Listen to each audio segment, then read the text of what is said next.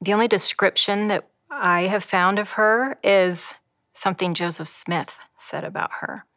He had stopped by their house one night and she had done his laundry for him so he could head back to the courthouse. And he told her, Sister Horn, if my wife was as small as you, I would put her in my pocket and run when trouble came.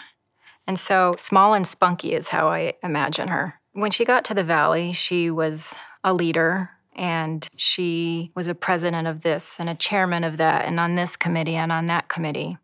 She exemplifies a faithful, industrious, hardworking life. This is my ancestor, my great great great grandmother, Mary Isabella Hales Horn, and I am proud to be her descendant.